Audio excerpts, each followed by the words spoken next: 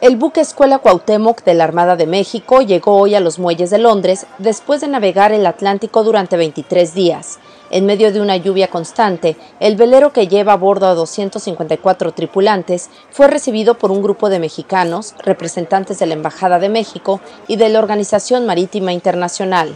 Es un ícono de lo que se puede hacer bien y que es un ejemplo para nuestros 120 millones de compatriotas el capitán Pedro Mata Cervantes afirmó que el buque trae un mensaje de paz y amistad. Somos unos representantes de nuestra sociedad,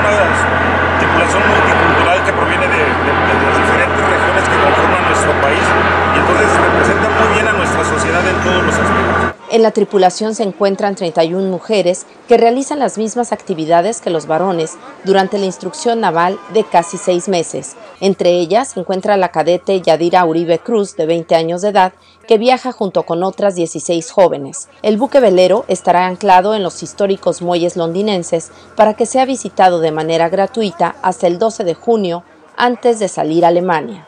Con información e imágenes de Marcela Gutiérrez, corresponsal Notimex.